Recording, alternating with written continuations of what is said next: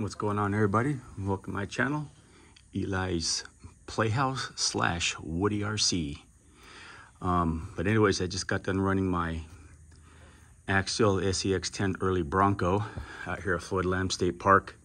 Just at a pond side river run out here. Crawled over some tree, some tree roots over there just to have a little fun and just do what this was intended for. Take it out for a nice trail walk. But anyways, um, you can see what I've done to it here. I've got the um, Proline Super Swamper TSL, Proline beadlock wheels, uh, scratch that, Injora beadlock wheels here. I always go with these, they're cheap and they work great.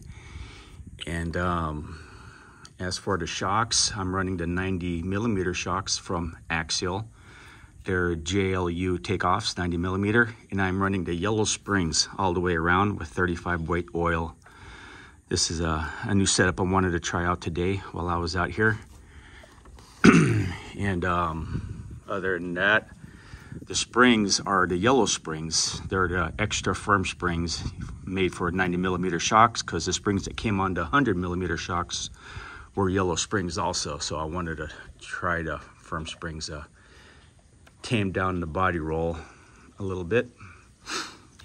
And as for the motor stock, battery, I'm running a 3S LiPo battery right here, and it's an Ovonic. It's just a, a 2200 3S. Shorty pack fits in there great.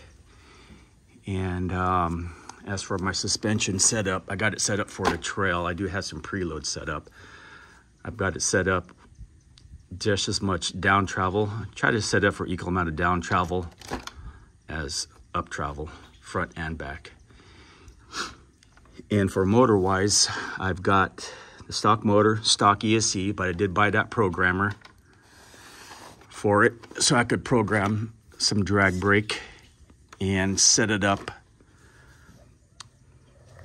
the way I like to trail crawl with it. So overall, um, I had a good run with it and I hope you guys enjoyed the video. Thank you for coming by. And thanks for watching.